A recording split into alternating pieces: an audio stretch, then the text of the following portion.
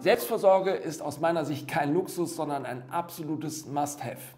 Heute erkläre ich dir, wie du mit ein paar wenigen Minuten am Tag deine Gesundheit stärken kannst und sogar Symptome wie bei der Migräne lindern kannst.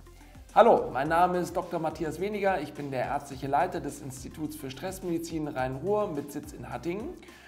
Und wenn dir das Video gefällt, dann lass uns gerne ein Like da, abonniere unseren Kanal und klick die Glocke. Und jetzt lass uns mit den ersten Fragen starten.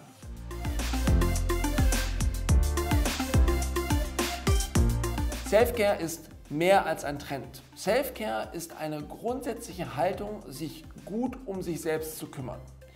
Zeit in seine eigene Gesundheit zu investieren, führt dazu, dass unsere mentale Widerstandsfähigkeit größer wird und wir besser mit unserem Stress umgehen können.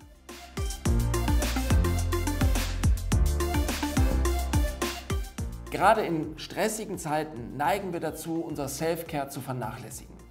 Dadurch wächst aber weiter unser Stress. Wenn wir es schaffen, auch im Stress uns gut um uns selbst zu kümmern, unsere Akkus aufzufüllen, werden wir widerstandsfähiger und zufriedener und können besser mit den Belastungen des Alltags umgehen.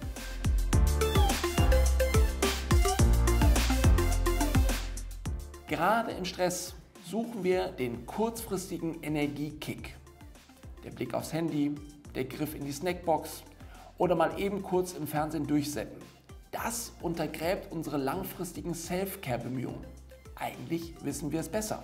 Aber im Stress kommen wir in eine Art Tunnelblick und häufig merken wir es gar nicht. Dabei ist es sehr wichtig, sich gut um sich selber zu kümmern und langfristig seine Gesundheit zu stärken.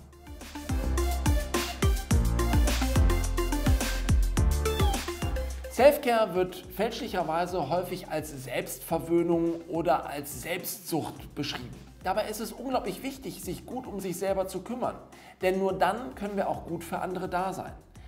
Dabei glauben wir auch häufig, dass Self-Care-Mechanismen langfristiger Natur sind.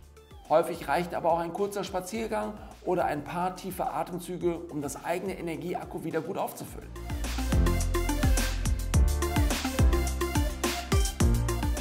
Selfcare muss nicht zeitaufwendig sein, sondern es geht eher um feste Gewohnheiten, die wir etablieren.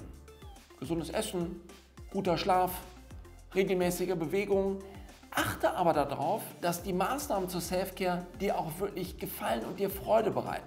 Dann kann auch ein soziales Umfeld sehr hilfreich sein, wenn man zum Beispiel die Dinge gemeinsam macht.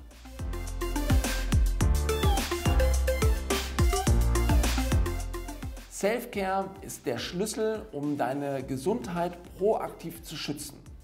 Treibst du zum Beispiel regelmäßig Sport, stärkt sich dadurch dein Immunsystem und du kannst besser mit Entzündungen umgehen. Machst du regelmäßige Achtsamkeitsübungen, fördert das deine innere Resilienz, also deine Widerstandskraft. Und Erkrankungen wie zum Beispiel Burnout werden so vermieden.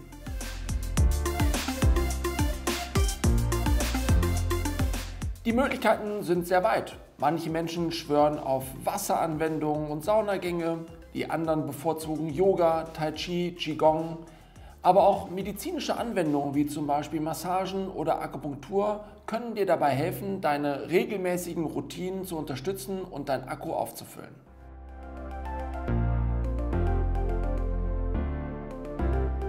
Akupunktur kann eine gute unterstützende Methode zur Behandlung von Migräne sein. Dabei werden feine Nadeln in bestimmte Körperbereiche gestochen und dadurch werden Nervenbahnen und auch das Schmerzempfinden angepasst. Bei vielen Menschen hilft die Akupunktur als Ergänzung zu den üblichen Behandlungsverfahren und trägt dazu bei, dass die Schmerzen weniger werden können.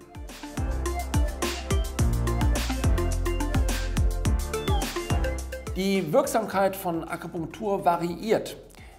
Zahlreiche Patienten sprechen sehr gut auf die Behandlung von Akupunktur bei Migräne an, während andere darauf gar nicht großartig reagieren. In Studien konnte die Wirksamkeit aber effektiv auch nachgewiesen werden. Dabei hängt es auch von der Qualität des Behandlers ab.